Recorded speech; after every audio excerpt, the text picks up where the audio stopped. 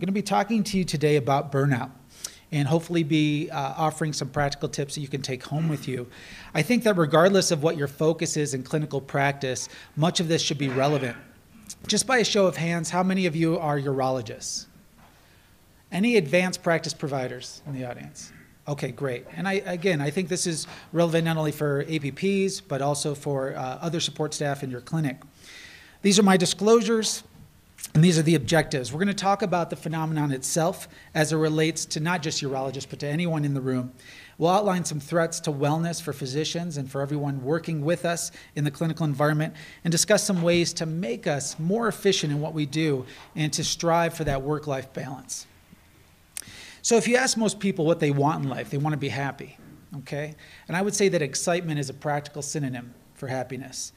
And we're very fortunate to have the type of career that we have, right? Because we're in demand and medicine is exciting, it's interesting. We have the opportunity to stay challenged and to continue to learn throughout our career.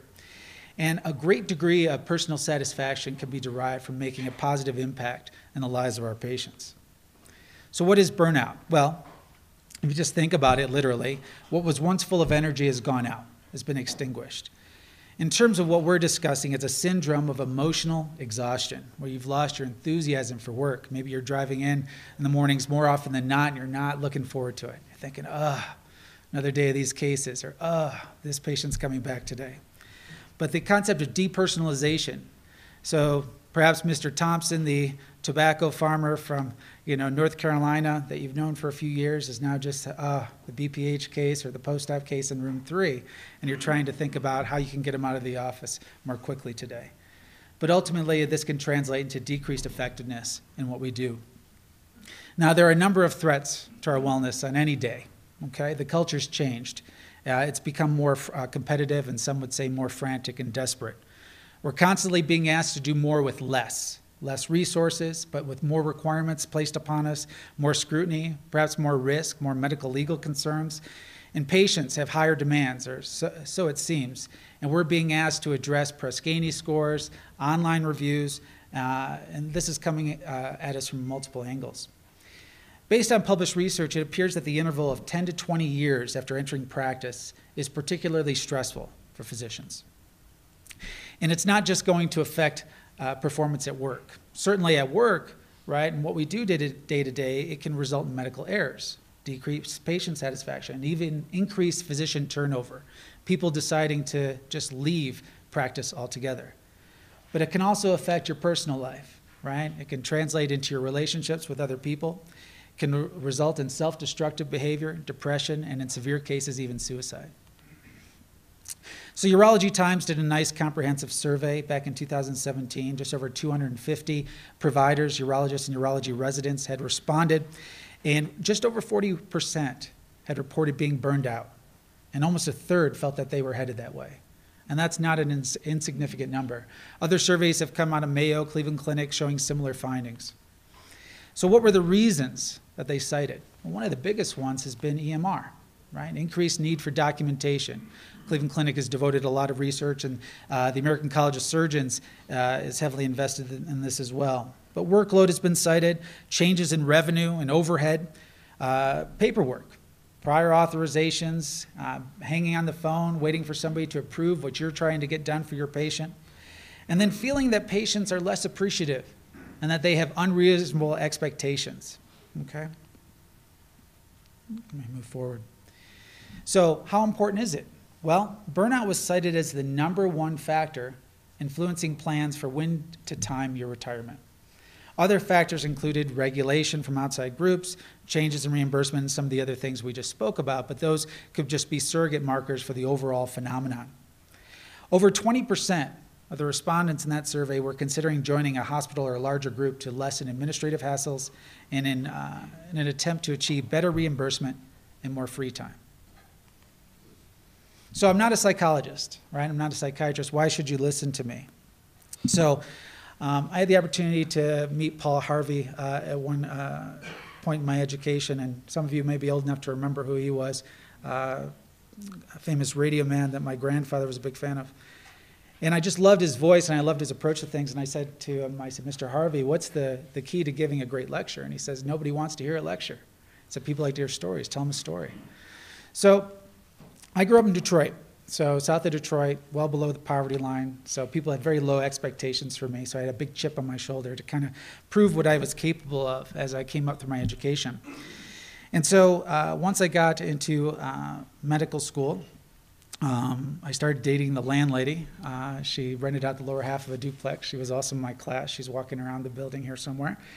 And uh, by the second year, I was engaged. Third year, I was married. Fourth year, week before graduation, I had my first child. And then I had another child every other year, up to a total of four, the ones you see in the picture. And then we were both in residency.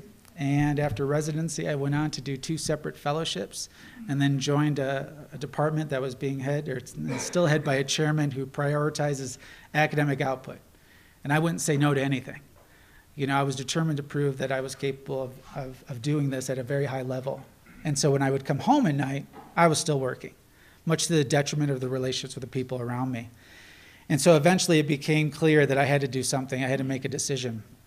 And despite the ego and the environment I was raised in, I eventually agreed to talk to a counselor. And uh, that was kind of a big deal, but he taught me some very important things. But he also taught me that divorce was inevitable, but not divorce from my wife, divorce from my behaviors and my way of thinking. And so, as such, I started to make some changes, and I got, to my, got myself to where I felt I was in a very comfortable place.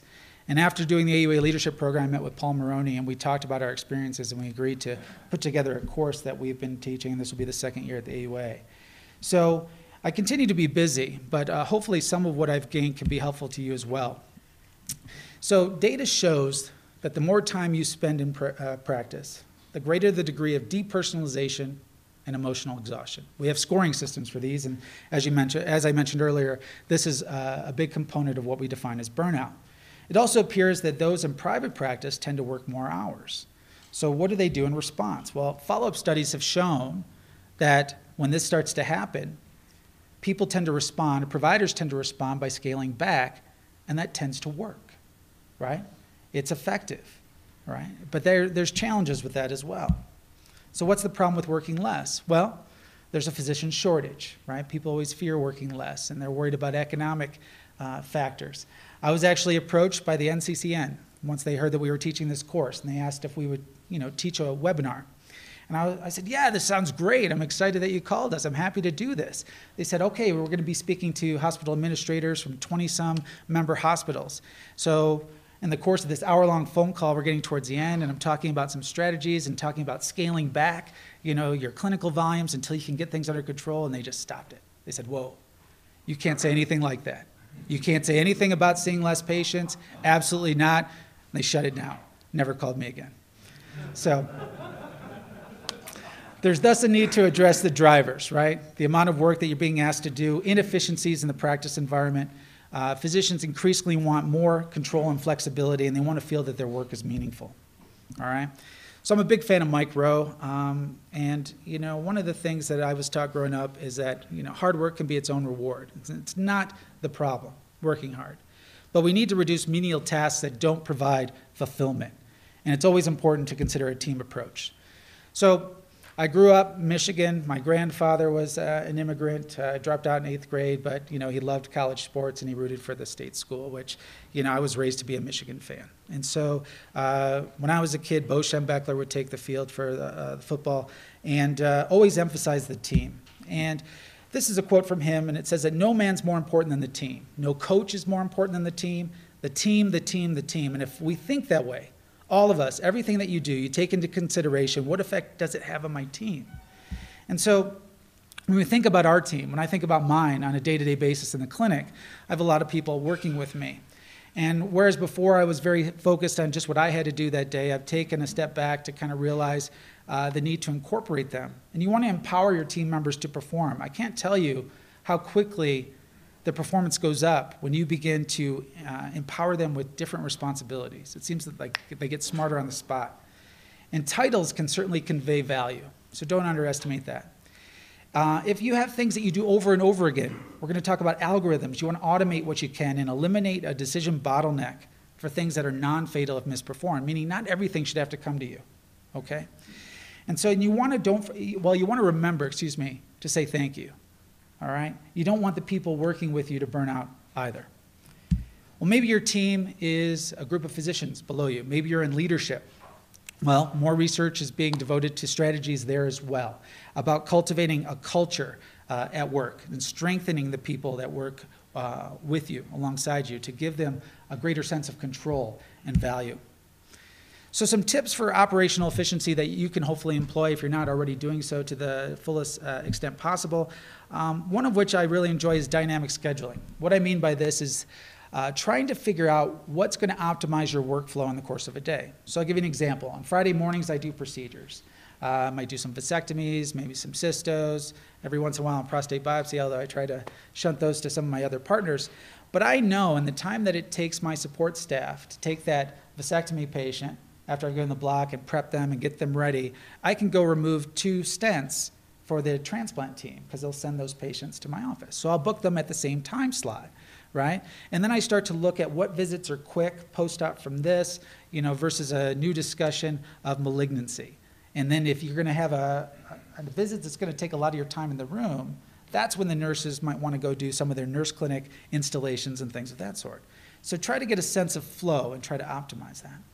You want to be efficient with your EMR. We're on Epic now, and I know that about 30% of providers or urologists in the country are on the same system. But take advantage of all your smart phrases and you know pre-populated templates, not just for op notes, for clinic notes, and try to do this for different chief complaints. Again, make it as, a, uh, as streamlined as possible. I actually schedule calls from my staff to patients, pre-op and post-op. And I found that this has reduced unplanned utilization of resources, coming into the clinic for things, going into the ER for questions that they didn't need to be addressed in the ER. Uh, it reduces cancellations to make sure they're complying with pre op instructions. You can get a sense sometimes having a conversation with a man in the office uh, that they might not remember, you know, what to do, what to take, what not to take. You want to get paid for what you do. You're, you're putting in a lot of effort Make sure you're not leaving money on the table. Work with your coders and billing team. Embrace quality improvement. Don't just look at this as, ah, oh, it's that conference again, or, ah, you know, this is being uh, placed upon my shoulders by uh, the higher ups. It's, it's going to make your life better. I don't use scribes, but uh, I have a number of friends that uh, find this to be a powerful addition to their practice. If it's something that makes sense for you, certainly investigate it. And consider increasing your support staff if you're busy enough to warrant it, or if you're feeling burdened okay? People look at this as a cost, but if it leads to better quality of life for you and better outcomes in your practice, eventually it translates and makes up for the, uh, for the cost involved. Before you delegate something to somebody else, decide if it needs to be done at all, okay? So never automate what can be eliminated and never delegate what can be automated or streamlined. All right. So this came out towards the end of this past year in New England Journal of Medicine. I believe this was out of Hawaii, and the title really caught my eye getting rid of stupid stuff. So, what they did is this group approached their employees and they asked them to nominate items in the electronic health record that they felt were poorly designed, unnecessary, or just plain stupid. And this included documentation that was never meant to occur, that which was needed but was inefficient or needed and uh, poorly understood. And they found that one unnecessary click across their institution had consumed 1,700 nursing hours per month. Okay? So there's a lot of opportunity there to get better. Our uh, hospital has a program, or uh, a course on patient-centered communication, and I know a few other universities are doing this as well. But trying to figure out how can we get patients through the office in a reasonable amount of time, but not having them feel rushed and having them feel that they got their value out of that time with you. So you want to learn to establish rapport quickly, find that balance of open and closed questions, and cut down on perceived wait time. So if you're wanting to keep your rooms available for physician to patient clinical interaction, figure out if you know you need a vital station, right? Keep the patient moving. Don't allow them to sit in one place for too long. If they have if you have the opportunity to let them enter either on paper or perhaps digitally their intake information, specifically if it's related to their chief complaint. So if you know why they're coming, and it pre-populates the questions that you would normally want answered, it can make your visit go a lot more quickly okay? Uh, pre-visit mailers can accomplish the same thing. A number of our uh, providers at our hospital will send these out in advance, uh, introduce themselves to the patient, and get the information sent back. I enjoy dictating in the room, right in front of the patient. I have those little microphones attached to the computer, and so that way I'm not typing, you know, in front of them. I have this conversation, and then it tends to validate for them the information that I've taken, that I've learned so much about them in a short amount of time. I get that chart done before I go to the next room.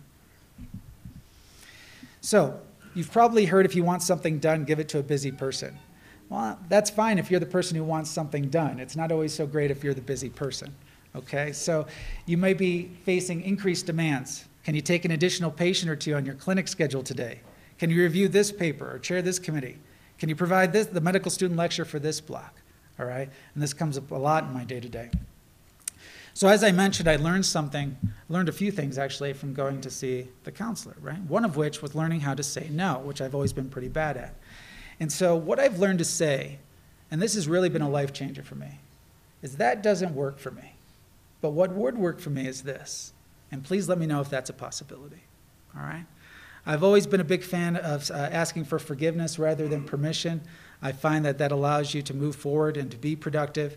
Um, but you also need to train those people around you with your responses to know that your time's important, but that you know you're willing to work within certain boundaries. I tell my kids all the time that brevity is the key to communication. I tell my residents the same thing, especially if they're calling me at three in the morning. Um, but my wife's also taught me that listening takes practice and needs to be an active exercise. Okay. Um, Gordon McLorie, who was a mentor and former colleague, uh, told me uh, once as well that it doesn't matter what comes out of your mouth and how nice you think it sounds if your eyebrows are telling people to take a hike. So be mindful of your body language as well. Tim Ferriss, who wrote The Four Hour Work Week, it's a great book if you haven't read it, uh, said being busy is a form of laziness, lazy thinking and indiscriminate action. I fully believe that, okay? And so, uh, something I learned growing up in an outdoors family and in the Army as well was that to aim small, miss small. Keep your focus tight, and you're not going to miss by much. So, consider dialing back the number of patients if you are feeling you're overwhelmed, okay, and then cr- increasing the availability if you find, oh, I'm now having more time between visits. I feel like, you know, we got this under better control. And do what's in your comfort zone. Our paper uh, was called the TERP study, Trends in Urologic Referral Patterns. This is what uh, won the AUA Leadership Program. We published this in Urology Practice and it shows an increasing trend towards subspecialization within groups and kind of referring uh, more complex cases out to centers of excellence or to people that do a high volume of this. So consider that if that tends to be an issue for you. And you have to customize because it's not one size fits all. If you're not familiar with the low information diet, I, I find this also to be very helpful. Uh, I've learned the do not disturb icon, this little half moon on my iPhone. It's been a life changer for me. I think I walked away from checking Facebook about eight months ago. Uh, I, I, think this has also been helpful. A lot of what's coming at you on news uh, feeds is not necessarily relevant to your day to day. Learn to be a quitter. So, or a non finisher. This is also very difficult for me, but if the article stinks, stop reading it. If the movie's terrible, walk out, and the meal is bad, stop eating. Although my mom was a very big finisher plate kind of person, which is probably why I was so heavy when I graduated high school. Um, doing something unimportant well doesn't make it important. Similarly, if it takes a lot of time, that doesn't make it important. I'm not a believer in to do lists. I used to be. I used to have post its all over the place. But now I use my calendar. Schedule a time, devote that time, commit to getting something done. Okay? Avoid meetings that can be summarized in a text message, and if necessary, set an end time for the meeting. All right? Already talked about the value of brevity, and you know, putting things on the back burner just gets to add up and add up. Dave Barry, you know, had the similar uh, feelings about meetings. Um, so again, I, I, agree with him. I think that they're oftentimes highly self-indulgent. Email, a lot of us are probably plagued by email. Um, this one of Tim Ferriss's uh, suggestions, at least for him, was to devote certain times to checking email rather than having it come to your phone left and right, left and right, beeping and buzzing in your phone. I mean, I can feel vibrations even when I don't have my phone on me. I mean, that's how bad it got for me. Uh, but this is not practical for everybody. But uh, consider it if it is something that you can employ. Uh, respond to voicemails with an email and use an if then statement, almost like you are doing a computer program. But this limits the number of back and forth emails and exchanges so people can say, well, all right, it's not that, I'm going to go ahead with this. And then if you want to reserve your phone call for just urgent needs, especially if you have other things going on, you need to train people appropriately that that's only for those types of matters. And then when you answer the phone, get right to the point.